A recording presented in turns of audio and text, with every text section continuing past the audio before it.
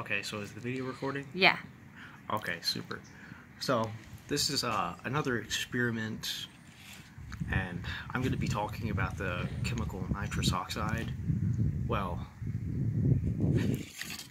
it's um, what I'm taking is from air duster, so it's got that extra shit on it that you don't want. You don't want to get that wet stuff in your mouth, and it could be very dangerous if you get that wet stuff in your mouth. But it's not that bad. Like if you get a little bit like on, your tongue or something, it's just uh, you want to make sure you have as much protective covering over the um, air duster canister that contains that nitrous oxide.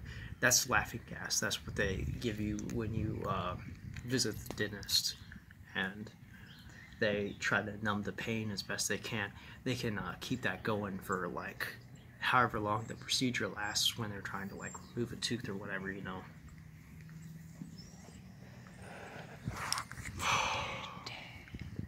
Dude.